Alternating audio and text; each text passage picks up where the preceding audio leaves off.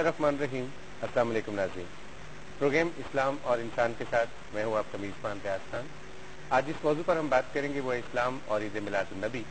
اس موضوع پر ہمارے سوالات کے جوابات دینے کے لیے ایک دفعہ پھر ہمارے اسٹوڈیوز میں موجود ہیں۔ معروف عالم دین حضرت علامہ حافظ محمد شفاعت رسول۔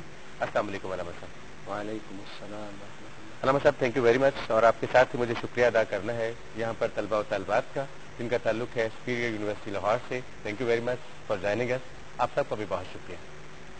علامہ صاحب، جب ہم بات کرتے ہیں عید میلاد النبی کی، ہم سنتے آئے ہیں دو عیدیں، ایک عید الفطر اور ایک عید الاضحیٰ۔ یہ عید میلاد النبی ہم اسے کیوں کہتے ہیں اور اس کا کیا تصور ہے اسلام میں؟ لفظ عید لغت عرب سے ہے اور عید کا معنی کسی چیز کا بار بار لوٹ کے آنا، بار بار پلٹ کے آنا۔ یعنی وہ تہوار جس میں خوشی یا غمی کا اظہار ہوتا ہو، اس تہوار کو عید کہتے ہیں۔ جب عربی لغت کے حوالے سے عید کا معنی یہ ٹھہرا کہ کوئی خوشی کا تہوار جو انسانی زندگی میں ایک بار نہیں، متعدد بار بار بار آئے، اس کو عید کہتے ہیں۔ آپ نے کہا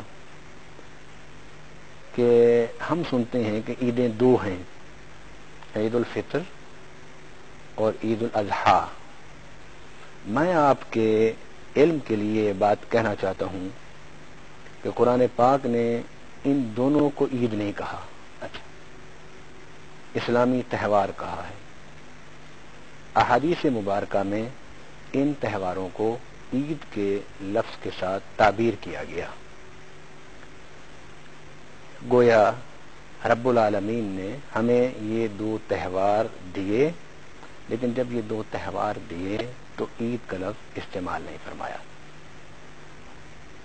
قرآن پاک میں اللہ رب العالمین نے عید کا لفظ استعمال فرمایا ہے، اور وہ کس مقصد کے لیے؟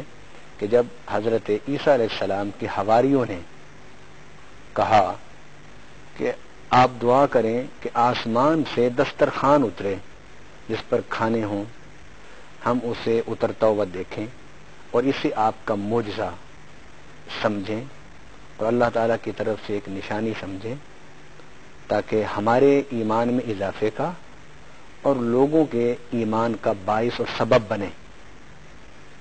اور انہوں نے کہا کہ جس دن وہ دسترخوان اترے گا، ہم اس دن کو عید منائیں گے۔ وہ ہمارے لیے عید ہوگا، ہمارے پہلوں کے لیے بھی اور ہمارے بعد میں آنے والوں کے لیے بھی عید ہوگا۔ اور انہوں نے کہا کہ دعا کریں کہ اللہ تعالی ہمیں رزق دے، اس لیے کہ اللہ جو ہے وہ سب سے بہتر رزق دینے والا ہے۔ گویا قرآن پاک نے جو عید کا لفظ استعمال کیا، وہ دسترخوان کے اترنے کے دن کہا۔ کہ اس طرح حضرت عیسیٰ علیہ السلام کے سامنے ان کے حواریوں نے کہا تھا کہ دعا مانگے گویا عید قرآن نقطۂ نظر سے وہ دن اور وہ تہوار ہوتا ہے قوموں کے لیے کہ جس دن اور جس تہوار میں اللہ تعالیٰ انہیں کوئی غیر معمولی خوشی عطا فرمائے۔ اللہ تعالیٰ انہیں کوئی غیر معمولی سعادت عطا فرمائے۔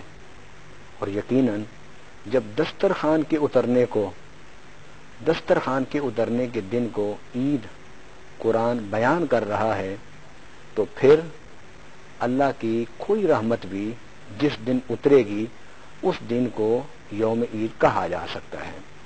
اور یہ ایک حقیقت ہے کہ نبی پاک صلی اللہ علیہ وسلم کی ذات گرامی اللہ تعالی کی تمام نعمتوں کا نقطۂ مرکز ہے آپ دیکھیے، اللہ تعالیٰ نے انسان کو بہت ساری نعمتیں دی ہیں۔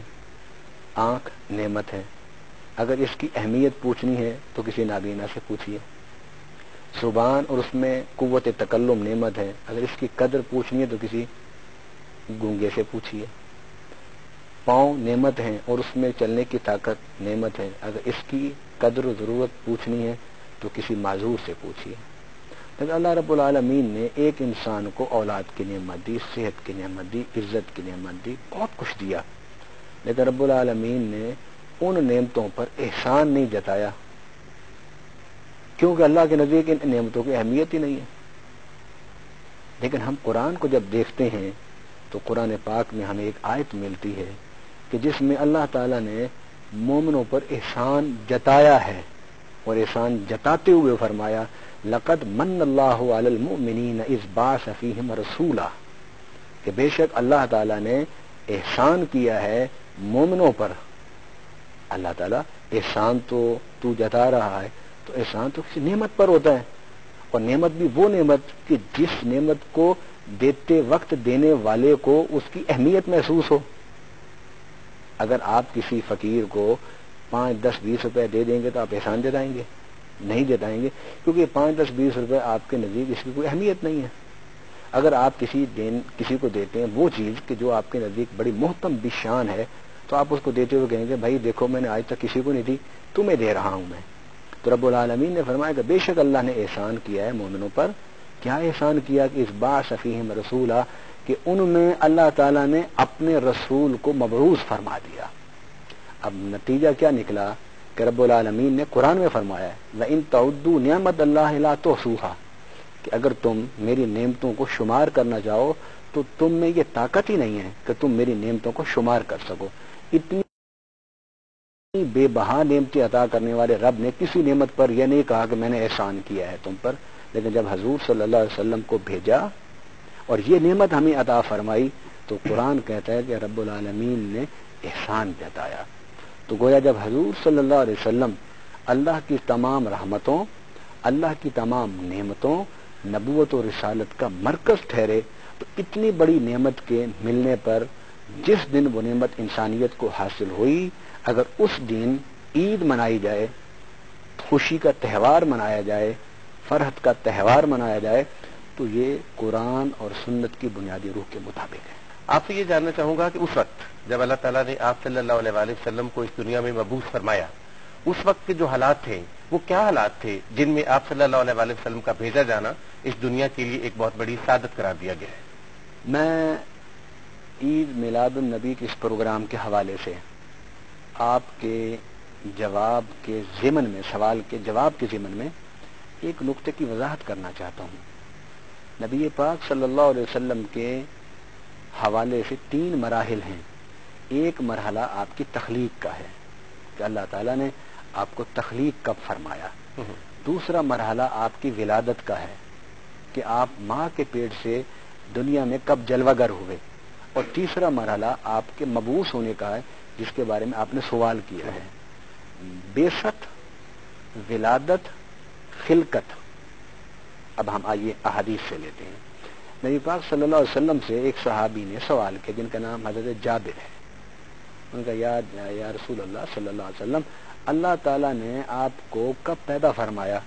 تو فرمایا، یا جابر، ان اللہ قد خلق قبل الاشیاء نور نبی کا من نور ہی کہ اللہ تعالیٰ نے ساری کائنات کو تخلیق کرنے سے پہلے تیرے نبی کے نور کو بھی نور سے پیدا فرما دیا۔ تو یہ حضور صلی اللہ علیہ وسلم کی خلقت ہے۔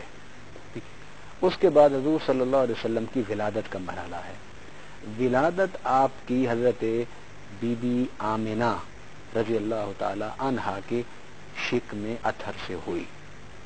والدہ آپ کی بی بی آمنہ ہیں اور والد آپ کے حضرت عبداللہ ہیں۔ یہ ولادت ہے۔ اور ہمارا جو آج کا نقطۂ مرکز ہے وہ ولادت ہے۔ اور بےست آپ کی کب ہوئی؟ بےست کا معنی ہوتا ہے کہ جب آپ نے اعلان نبوت فرمایا، اس کو ہم بےست کہتے ہیں کتاب و سنت کے حوالے سے۔ وہ آپ نے اس وقت فرمایا کہ جب آپ کی عمر مبارک چالیس سال تھی۔ چالیس سال کی عمر میں آپ نے بےست فرمائی۔ اور حضرت عیسیٰ علیہ السلام کی آمد کے چھ سو سال تقریباً، ساڑھے چھ سو سال کے بعد تقریباً حضور صلی اللہ علیہ وسلم کی ولادت ہوئی اور تخلیق ساری کائنات سے پہلے ہوئی۔ آج ہم نے کہ ولادت کب ہوئی؟ اس وقت کیا حالات تھے؟ جی۔ اور بیست کے وقت کیا حالات تھے؟ ولادت اور بیست کے درمیان کوئی زیادہ وقت نہیں ہے چالیس سال کا وقت ہے۔ تو قوموں کے اندر اگر کوئی خوبیاں ہوتی ہیں نا ان کو مٹتے مٹتے بھی صدیاں لگتی ہیں۔ اور قوموں کے اندر اگر کوئی خرابیاں ہوتی ہیں ان کو مٹتے مٹتے بھی صدیاں لگتی ہیں۔ کیونکہ ایک انسان جب اپنی زندگی کو سنوارتا ہے نا تو برسا برس اس کو لگ جاتے ہیں۔ تو اقوام میں ایک فرد تو نہیں ہوتا نا، وہ تو افراد کا مجموعہ ہوتا ہے۔ اس لیے جو پوزیشن حضور کی ولادت کے وقت عرب کی تھی، وہی پوزیشن بیست کے وقت تھی۔ وہ کیا تھی؟ کہ شرک میں مبتلا تھے۔ اللہ کے گھر کو تین سو ساٹھ بتوں سے سجایا ہوا تھا۔ اللہ کے گھر کو تین سو ساٹھ بتوں سے انہوں نے معلق کیا ہوا تھا۔ زندہ بچیوں کو پیدا ہوتی ہی زندہ درگور کر دیتے تھے۔ قبائل میں تقسیم تھے۔ سود کا کاروبار عام تھا، انتقام پہ انتقام چلتا تھا۔ ایک آدمی کی ٹانگ کٹنے پر سینکڑوں کے وہ سر کاٹ دیتے تھے۔ عصبیت بہت زیادہ تھی، فخر، تکبر رونت بہت زیادہ تھا۔ اپنی زبان پر، اپنے قبیلے پر، اپنے علاقے پر تفاخر یہ ان کے اندر بہت زیادہ تھا۔ سیاسی طور پر وہ منتشر قوم تھی۔ ذریعہ آمدن تین میلوں کے علاوہ، حج عمرے کے علاوہ ان کو